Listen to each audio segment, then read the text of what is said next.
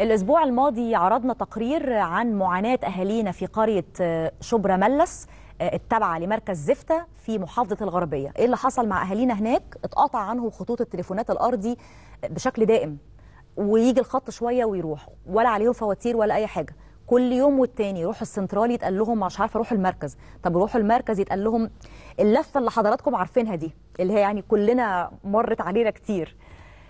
مهم إنه الأهالي تواصلوا معانا في مساء دريم وإحنا عرضنا المشكلة والحقيقة إنه سعداء إنه مع عرض هذه المشكلة في مساء دريم تم تشكيل لجنة من المسؤولين في وزارة الاتصالات والقائمين على التليفونات هناك في مصلحة التليفونات في الغربية واتعمل فريق عمل بقاله النهارده سبعة أيام بالظبط.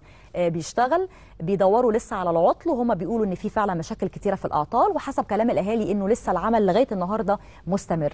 تعالوا ناخد هاتفيا الحاج عبد المنعم البطاوي من أهالينا في شبرا ملس. يا أهلا بيك يا فندم. أهلا وسهلا يا مبروك إن شاء الله بإذن الله يا رب كده نبارك لكم. انت بتكلمنا دلوقتي من على الارضي ولا من على الموبايل؟ من الأرض آه من التليفون الارضي اللي كان عطلان ده. طب والله إحنا سعداء والله الحمد لله.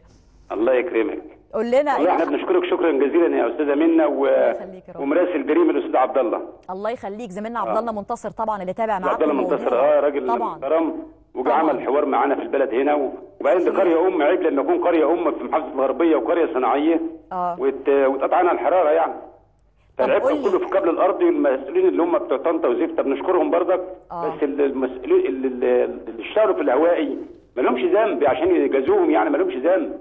هم جازوا حد في العطل اللي حصل لما الأرض جازوا الناس اللي هم في الهوائي اللي هم بيشتغلوا على الهوائي إنما العطل كان في الأرضي في الكابل الأرضي اللي هو في أيوة. شارع مقابر وشارع الجمعية الزراعية يعني إحنا لما ذاعنا التقرير في ناس اتأذت بعدها في ناس آه، أصل إحنا اتقال لنا إن إحنا لما ذاعنا التقرير في ناس آه، يعني ات- ات- ات- اتحاسبوا إن هم أنتوا ليه ليه آه. بتتكلموا على الأعطال وكده هم اللي مم.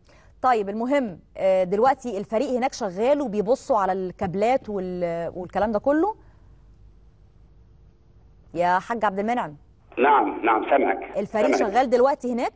لا ال- في تليفونات اشتغلت وفي تليفونات لسه عطلانة. وبعدين هم بيشتغلوا يعني هم دلوقتي موجودين من طنطا طيب. الكابل الارضي وجايبين الجهاز وبيشتغلوا به طيب ده ما اللي ينفعش إن يعني يضروا الناس اللي هم بيشتغلوا في الهوائي. طيب. اللي بيشت- اللي بيشتغلوا في الهوائي ما لهمش ذنب. أنا بس أنا مش فاهمة يعني إيه الناس اللي بت- بتشتغل في الهوائي ات- اتحاسبوا؟ أنا مش فاهماها دي.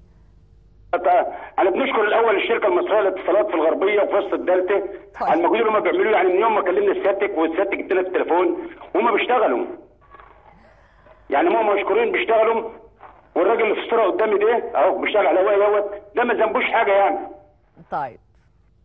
طيب يعني دي قرارات داخلية عندهم بقى هم يشوفوا يحاسبوا مين ويشكروا مين ويرقوا مين أو يجازوا مين.